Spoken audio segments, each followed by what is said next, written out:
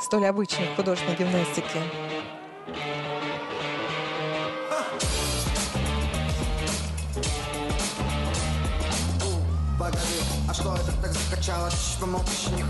В этом году Милена закончила школу, поступила в институт, продолжает заниматься гимнастикой. И очень успешно.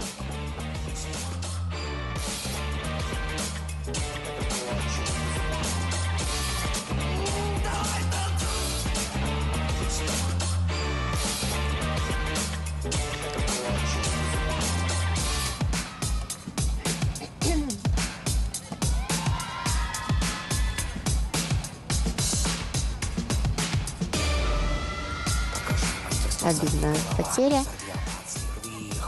У Милены очень сложное упражнение. И риски сложные, мастерство. А также э, одна из первых Милена прыгнула по российским правилам 10 прыжков шагом прогнувшись.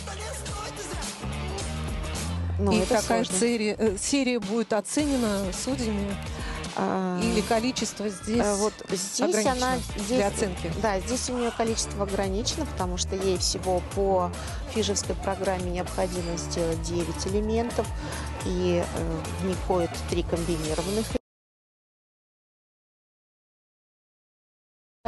Вот, а по российским программам